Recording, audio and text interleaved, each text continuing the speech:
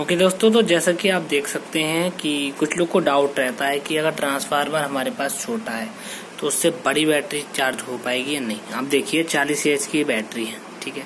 Solar battery है। और यहाँ पर जो ट्रांसफार्मर है, वो केवल मेरे पास मैक्सिमम फाइव एम्पियर आउटपुट दे पाएगा, ठीक है? ट्वेल्व पॉइंट सिक्स और अराउंड थर्टीन वोल्ट तक। तो अभी देखिए, इतनी बड़ी बैटरी है। मैंने इसी से इस बैटरी को चार्ज करा है।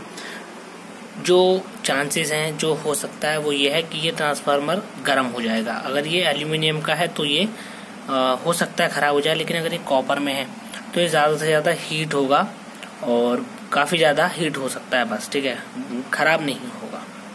और इसके आगे जो डायोड है वो भी काफ़ी हीट झेल सकते हैं क्योंकि जो नॉर्मल हीट होती है वो भी इनके लिए 50 डिग्री और 55 डिग्री रहती है ठीक है? सेल्सियस में।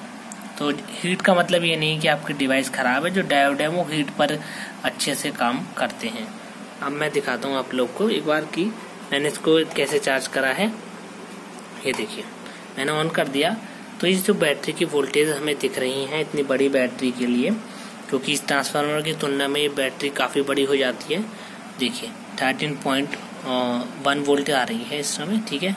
जो कि एक बैटरी की लगभग फुल चार्ज मानी जाएगी। एम्पियर 3.3 एम्पियर ही जा रहे हैं। जैसे इसकी ग्रेविटी पूरी हो जाएगी 1250 या 1270 मतलब कि ग्रेविटी मतलब कि जैसे इसमें चार्ज अच्छी तरीके से पूरा फिल हो जाएगा, जब इसे और करंट की ज़रूरत नहीं होगी तो ये एक डेढ़ एम्पियर पे आ जाएगी। ये देख सकते हैं आप, ठीक है? तो इस तरीके से है। और वीडियो को ज़्यादा नहीं शॉर्ट वीडियो रखते हैं। और थोड़ी और नेक्स्ट वीडियो में और जानकारी आप लोग को देंगे। इतनी वीडियो आपको अच्छी लगी हो चैनल को लाइक से सब्सक्राइब किए दोस्तों, जब तक के लिए आप लोग का बहुत बहुत धन्यवाद।